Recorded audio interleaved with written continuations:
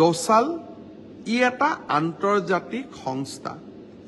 এই সংস্থাটোৱে চিভিল এভিয়েশ্যনৰ পৰা আৰম্ভ কৰি মিলিটেৰী এভিয়েশ্যনলৈকে আৰ্টিফিচিয়েল ইণ্টেলিজেঞ্চৰ পৰা মেচিন লাৰ্ণিঙলৈকে ৰবটিক্সৰ পৰা ইলেক্ট্ৰনিক ভেহিকুললৈকে ইয়াৰ ছফ্টৱেৰসমূহ বনায় আৰু তেওঁলোকে এই গোটেই ইণ্ডাষ্ট্ৰিটোৰ মেন আৰু মেচিন এই দুয়োটাক এক প্ৰকাৰে নিয়ন্ত্ৰণ কৰে। ভাৰতত এয়াৰফৰ্চে লোৱা ৰাফেলৰ দৰে বিমানৰো যিটো ক'ব লাগে যে অপাৰেশ্যন এণ্ড মেইনটেনেন্সৰ যিবিলাক বেকৰুম কাম এই ডাচেল বুলি ইণ্ডাষ্ট্ৰিটোৱে কৰে আৰু তেওঁলোক এটা আন্তৰ্জাতিক সংস্থা। অসমৰ যুৱ প্ৰজন্মক এই নতুন উদ্যোগবিলাকক civil aviation artificial intelligence machine learnings quantum physics বা ইলেক্ট্ৰিক ভেহিকেল ৰবাটিক্স এইবিলাকৰ ওপৰত শিক্ষা দিবৰ কাৰণে আৰু যুৱ প্ৰজন্মক এনে এনে উদ্যোগলৈ আকৰ্ষিত কৰিবৰ বাবে এই দচাল কোম্পেনীয়ে আছাম ইঞ্জিনিয়াৰিং কলেজত এটা ইনফ্ৰাষ্ট্ৰাকচাৰ চেণ্টাৰ অৱ এক্সেলেঞ্চ তৈয়াৰ কৰিব। ইয়াত তেওঁলোকে দুশ কোটি টকা ব্যয় কৰিব আৰু অসম চৰকাৰে চল্লিছ কোটি টকা ব্যয় কৰিব। আৰু ইঞ্জিনিয়াৰিং কলেজত আমি হাব হিচাপে লৈ অসমৰ পঞ্চাছখন কলেজলৈ এই শিক্ষাক আমি সম্প্ৰসাৰণ কৰিম।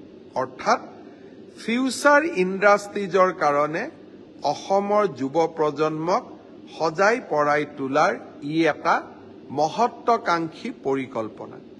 আমাৰ ৰাজ্য এতিয়া দেশৰ অগ্ৰগামী ৰাজ্যবিলাকৰ লগত খোজ পেলাব খোজে। দাসেলে ইয়াৰ আগত কৰ্ণাটক আৰু তামিলনাডু চৰকাৰৰ লগত এনেকুৱা ধৰণৰ চেণ্টাৰ অৱ এক্সেলেঞ্চ পতাৰ বাবে চুক্তিবদ্ধ হৈছে। আমি অসম তৃতীয়খন ৰাজ্য যি এনেধৰণৰ অত্যাধুনিক চেণ্টাৰ অৱ এক্সেলেঞ্চ স্থাপন কৰিবৰ বাবে আগবাঢ়ি আহিছে।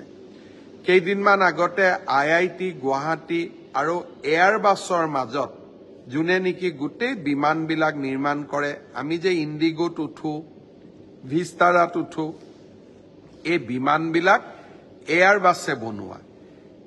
এই এয়াৰবাছ আৰু আই আই টিৰ মাজত মানৱ সম্পদ সৃষ্টিৰ বাবে এভিয়েশ্যন ইণ্ডাষ্ট্ৰীত মানৱ সম্পদ সৃষ্টিৰ বাবে এখন চুক্তি স্বাক্ষৰিত হৈছিল। তাৰ এসপ্তাহৰ পিছত ডাচেলৰ লগত আমাৰ এই পৰিকল্পনা। অসম আকৌ উন্নতিৰ পথত জয়াই অসম বোল। এই ধৰণৰ নীতিক সৰুগত কৰি আজি আমি আগবাঢ়ি গৈছো। মুখ্যমন্ত্ৰীৰ আত্মনিৰ্ভৰশীল অসম। এই আঁচনিটোৰ জৰিয়তে আমি অসমৰ যুৱ প্ৰজন্মলৈ দুই লাখ টকাকৈ ক্ষুদ্ৰ উদ্যোগ বা ব্যৱসায় কৰিবৰ বাবে আগবঢ়াওঁ। ইয়াৰ এক লাখ টকা ৰাজ সাহায্য আৰু এক লাখ টকা লোন। আজি আমাৰ কেবিনেটে এই বছৰৰ বাবে পঁচিছ হাজাৰ যুৱকৰ এখন তালিকাত অনুমোদন জনাই অহা তিনি নৱেম্বৰত যুৱক যুৱতীসকলক আমি মাতি আনি খানাপাৰাত আঁচনি অনুসৰি তেওঁলোকৰ প্ৰাপ্যৰ প্ৰথম কিস্তিৰ ধন আগবঢ়াম। ভৱিষ্যতে আমি আৰু পঁসত্তৰ হাজাৰ যুৱক যুৱতীক এই আঁচনিৰ অধীনলৈ আনিবৰ বাবে আমি প্ৰচেষ্টা চলাম। অৰ্থাৎ এক লাখ চৰকাৰী চাকৰিয়ে নহয় এক লাখ ল'ৰা ছোৱালীক আত্মসংস্থাপনৰো আমি সুবিধা দিয়াৰ ক্ষেত্ৰত আগবাঢ়িছো।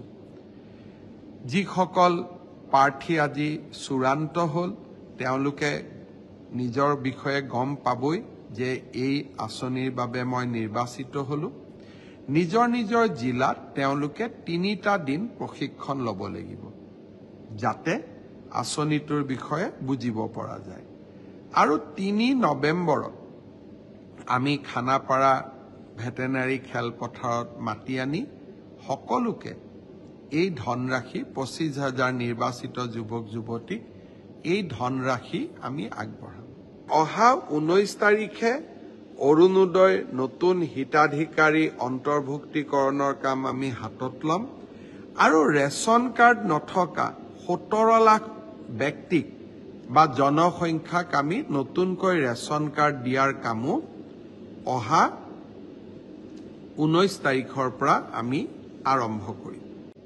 সোণাপুৰৰ ট্ৰাইবেল বেল্ট এণ্ড ব্লক দিছপুৰৰ গাতে লাগি থকা। তাক উচ্ছেদৰ বাবে কোনেও পৰিকল্পনা কৰা নাছিল।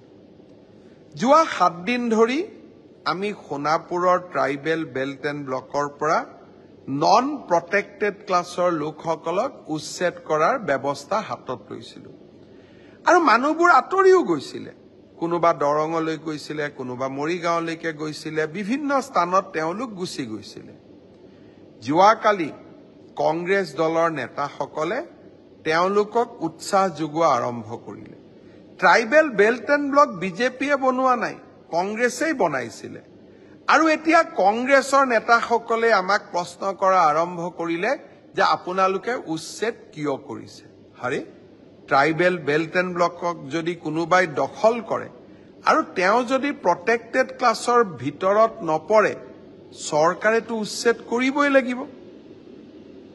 উচ্ছেদ আগবাঢ়ি গ'ল। কংগ্ৰেছ দলে সাংবাদিক মেল পাতিলে। উচ্ছেদৰ সিংহভাগ কাম হৈ যোৱাৰ বাবে আৰক্ষী কিছু তাৰ পৰা আঁতৰি আহিছিলে। আৰক্ষীৰ সংখ্যা কমি যোৱাৰ লগে লগে এই লোকসকলে অদ্ভুতভাৱে সংঘবদ্ধ হৈ সোণাপুৰত নথকা মানুহো ওচৰৰ পৰা মাতি লৈ আহিলে আৰক্ষীৰ দলক আক্ৰমণ চলালে। ৰেল পৰ্যন্ত ৰখাই দিলে ৰেল লাইনত বহি। লাঠি দাও কুঠাৰ আৰক্ষীক অদ্ভুতভাৱে আক্ৰমণ কৰিলে। আৰু এই আক্ৰমণৰ সময়ত ব্যৱহাৰ কৰা শ্লোগানবিলাক বাংলাদেশত কিছুদিন আগতে ঘটা ঘটনাত ব্যৱহাৰ কৰা শ্লোগানবিলাক দুইটাই সম্পূৰ্ণ এক ধৰণৰ আছিল। অৰ্থাৎ অসমত মৌলাবাদৰ উত্থান। আমি আমি যোৱাকালি স্বচক্ষে আমি দেখা পালো। মই বিমানত আছিলো বিমানৰ পৰা নমাৰ লগে লগে মোক পুলিচে ঘটনাৰ প্ৰতিবেদন দিলে। মই এটাই নিৰ্দেশ দিছিলো যে ওৰে ৰাতি কাম কৰি আমি সেই অঞ্চলটোক সুৰক্ষিত কৰিব লাগিব। পুলিচৰ গুলীচালনা হ'ল দুজন লোকৰ মৃত্যু হ'ল কিছু লোক আহত হ'ল আৰু বাইশজন চৰকাৰী বিষয়াও আহত হ'ল। অৱশেষত আমি সেই ভূমিক পুনৰ সুৰক্ষিত কৰিবলৈ সক্ষম হলো। সোণাপুৰৰ ট্ৰাইবেল বেল্ট এণ্ড ব্লকৰ পৰা আমি পৰ্যায়ক্ৰমে আমি যাক অনাকাংক্ষিত লোকসকলক আমি এভিকশ্যন কৰিম। কাম আৰম্ভ হৈছো কৰিছো। কংগ্ৰেছ দলে উচতাই নিদিলে আমাৰ জাতি সুৰক্ষিত হ'ব। কংগ্ৰেছ দলক এটাও ভোট দিয়া মানে আমাৰ জাতিটোৰ ভৱিষ্যতত আমি নিজেই আমাৰ কফিনত গজাল মৰা ধৰণৰ অৱস্থা হয়।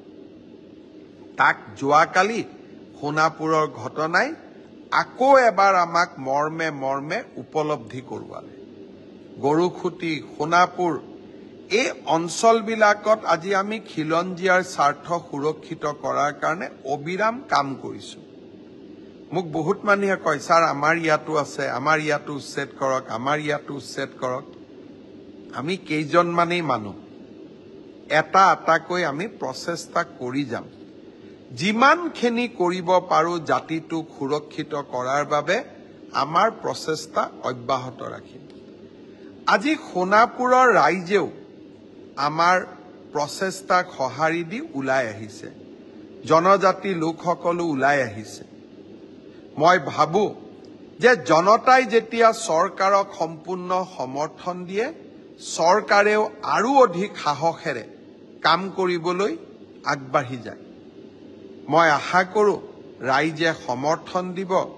অসমত আমি খিলঞ্জীয়াৰ স্বাৰ্থক আমি সুৰক্ষিত কৰিম। কেবিনেটত কোকৰাঝাৰৰ বাবে এটা ভাল খবৰ এশ এঘাৰ কোটি টকা খৰচ কৰি এখন অত্যাধুনিক ষ্টেডিয়ামৰ ষ্টেডিয়ামৰো আজি পৰিকল্পনাক কেবিনেটে মঞ্জুৰি দিয়ে। গুৱাহাটীৰ ডাউনটাউন হস্পিটেলৰ সন্মুখতো এখন উৰণ সেতু যাক অহা বছৰ এপ্ৰিলৰ ভিতৰত আমি নিৰ্মাণ কৰি সমাপ্ত কৰিম তেনেকুৱা আন এক পৰিকল্পনাকো কেবিনেটে আজি মঞ্জুৰি দিয়ে। গুৱাহাটীৰ চিৰিয়াখানাকো সজাই পৰাই তোলাৰ বাবে আজি কেবিনেটে এখন সুন্দৰ আঁচনিত অনুমোদন জনায়।